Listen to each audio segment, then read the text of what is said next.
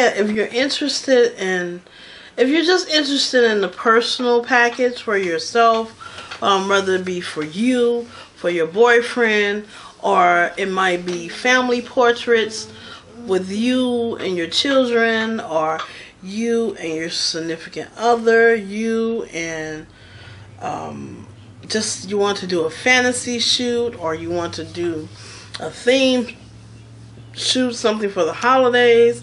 Um, if your birthday's coming up, I'm a photographer. I can shoot those photos for you. Um, if you want to do, I don't drive, so if you want to do something on like a location or something outside, um, this is my studio, which is my home. So basically, this is where I work at. Um, I have different backdrops, so it's up to you if you want to do that. Um, as far as shooting out, I want to get a feel of who you are. I'm, I do not want myself in any danger, as well as you being put in any type of danger. Whether you want me to um, meet somewhere in the city, like if you out at a lounge or you out at the club, and they're okay if I come and shoot certain pictures of you for you. Um, I'm willing to do that um, if you're having like a birthday party or a get together.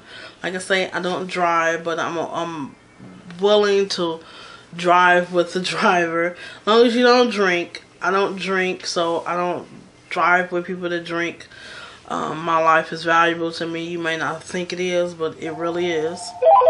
Um, so if that's something that interests you, just let me know.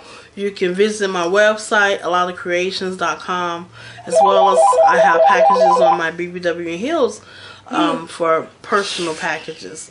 So just look around. Um, also build computers. I also um, fix computers. If you have a virus or if you need data backed up or if you need um, um, Microsoft Windows 8, Microsoft Windows 7 or um, Office 2010 or you need Adobe Photoshop or um, something of that nature.